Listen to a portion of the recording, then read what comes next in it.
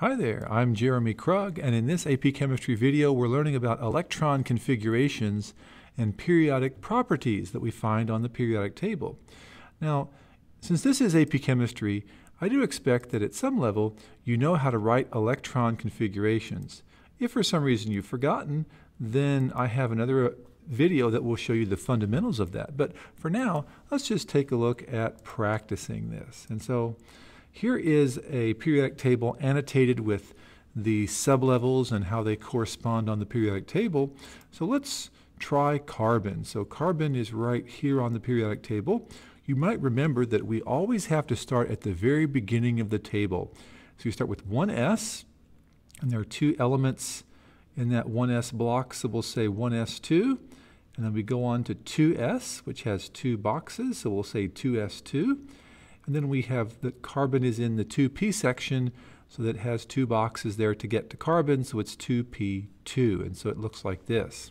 Now there is another way to write electron configurations that's a little bit shorter. It's abbreviated, where we basically look at the previous noble gas, which would be helium in this case, at that particular spot on the table, and then we just continue from there. So after helium, it's 2s2 2p2. So it's a little bit shorter. Now, if we have calcium, calcium is right here on the periodic table, can we write its electron configuration as well? Once again, we have to start with 1s2, and we have 2s2, then we have 2p6. We go all the way through this time. There are six boxes in the 2p section and then back around to 3S2, and then 3P6, six boxes in the 3P section, then back around to 4S, and there are two boxes to get to calcium, so it ends with 4s2. So there's our electron configuration. Now, if we want to do this in the abbreviated way, well, we look at the previous noble gas, which I believe would be argon in this case, and then from argon, it's just going to be 4s2. So it's, it's going to look like this. And so this abbreviated way of writing electron configurations is kind of a nice shortcut to help us uh, to, to write these in a much shorter way. Let's try one that's quite a bit longer. Let's try niobium. NB is its symbol. And so once again, to write the full configuration, we start from the very beginning with 1s2 and then 2s2 and then 2p6, back around to 3s2, 3p6, back around to 4s2. 3d has 10 boxes in it, as you can see if you count those. And then 4p6, back around to 5s2, and then 4d, 1, 2, 3. So it ends with 4d3. And of course, the abbreviated version we'd have to uh, go to the uh, noble gas right before that, which would be, looks like that's going to be uh, krypton this time. And so krypton and then 5s2, 4d3. So in this case, the abbreviated version is much shorter. Now, once again, this is a very quick way of going through this. If you haven't learned this yet, or you're confused, or need some review, then I'd like for you to watch my video on how to write electron configurations in much more uh, detail. What we're going to do right now, though, is take a look at what we call orbital notation of electron configurations. So we're going to take the electron configuration for, let's say, carbon, since we uh, started out with that, and we're going to place these into orbitals. Now, when I say orbitals, that means 1s has one orbital in it, the two S sublevel has one orbital, and the 2p sublevel has three. And when we assign these, we're going to always assign them in a very specific order, in which we start with the, uh, the lowest energy, which is 1s, and then we work our way to higher energy, like 2s and 2p. That's called the Aufbau principle. The Aufbau principle says that we add electrons to these sublevels in a very specific order of increasing energy. That's why we do 1s first, and then 2s, and then 2p, and then 3s, and it goes in that very specific order. We don't add electrons in just random order. You know, we'll do 2s here, and then we'll do a 4p, and then we'll have a 1s, and then a 3d. No, it goes in a very specific order, and that's the Aufbau principle. Uh, which basically comes from the German word. Aufbau is the German word for uh, in ascending order, from what I understand. So we're always going to start with 1s2, so we'll put uh, 1s and then we have 2. And don't forget that each line or each orbital can have a maximum of 2 electrons in it. Then we have 2s and we have 2s2, so we have that. And then we have 2p2. So the first arrow goes up in the first line. Now, where should the second arrow go? Does it go on the same line? Well, from first year, year chemistry, hopefully you remember that it goes on the second line. And that's something called Hund's rule. Hund's rule basically says that no electron in a sublevel can be paired up until every orbital in that sublevel has been occupied. So we have to go over to the second line here to put the second electron. So that's Hund's rule that shows why we have the two unpaired electrons in carbon. Now, before we go any further, some, just some vocabulary here. The 2p, for example, that's a sublevel.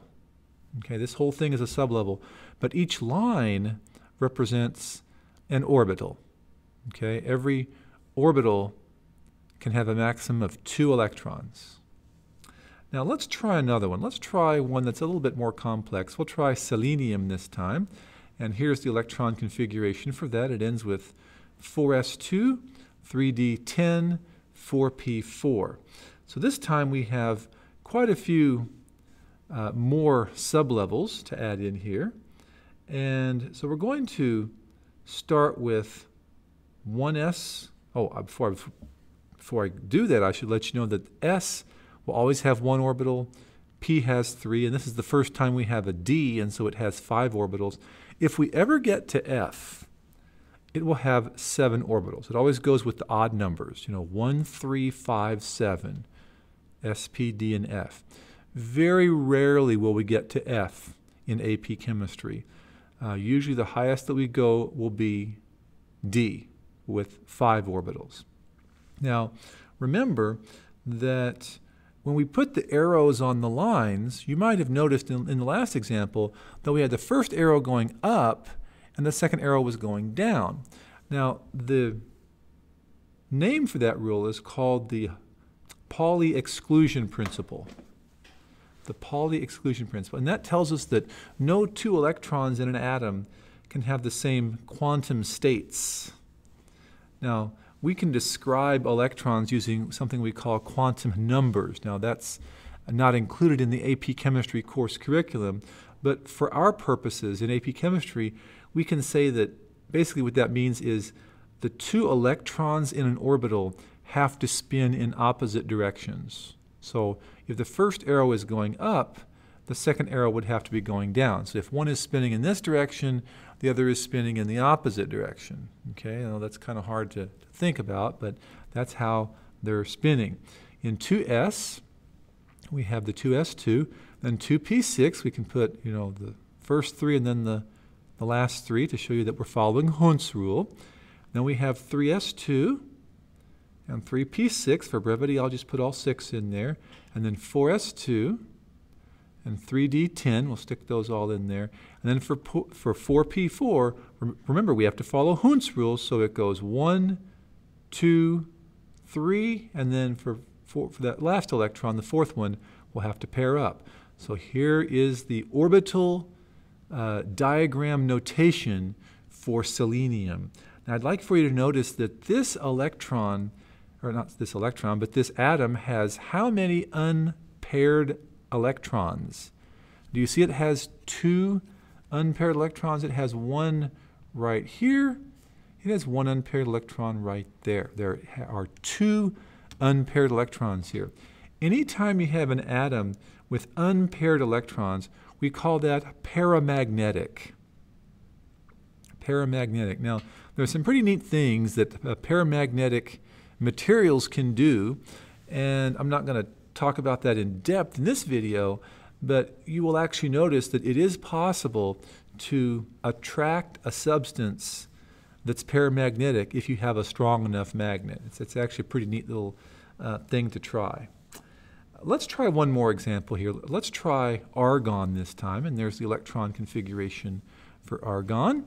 And it looks like it has one, two, three, four, five sublevels. And so I'll plot those here, and we'll put those in. We have 1s2, 2s2, 2p6, 3s2, and 3p6.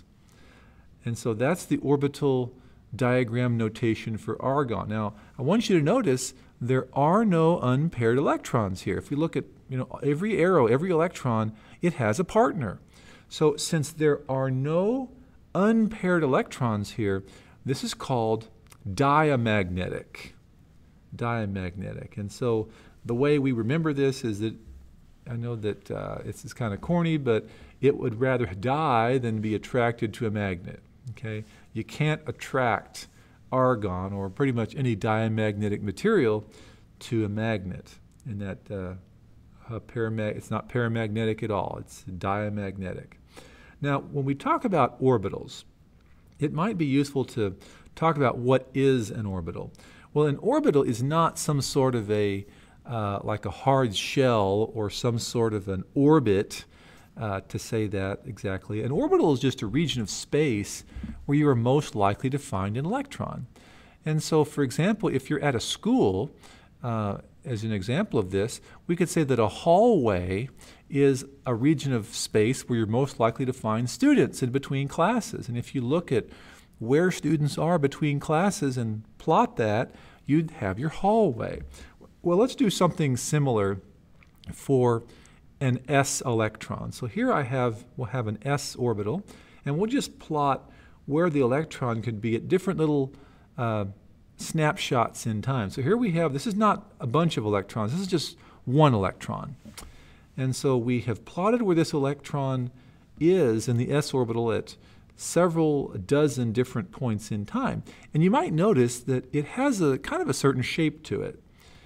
We can draw what looks to be kind of a, a sphere around here and say that the s orbital is roughly spherical in its shape. Now, if we go on to the p orbital here, let's take a look at that one.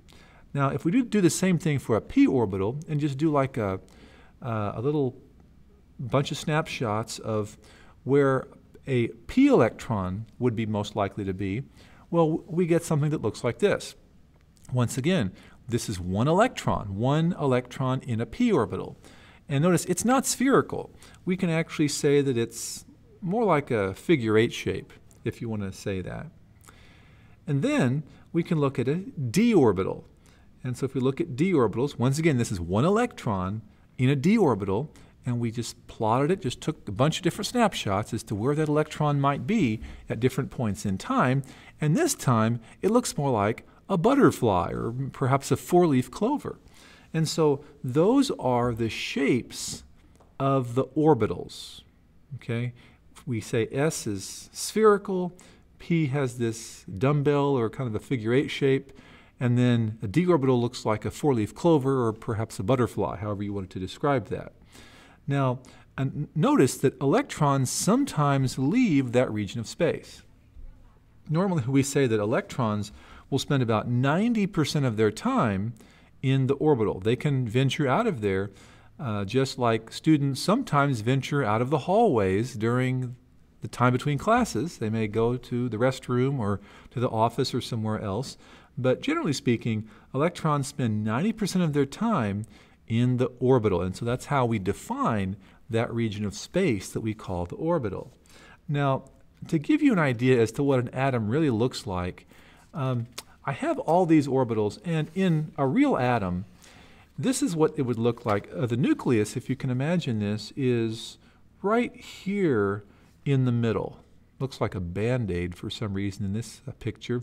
But the nucleus is in there, and all of the atom's sublevels are superimposed over each other. And so you can tell that there might be an s orbital in here, and then there are three p orbitals you know, in these different directions.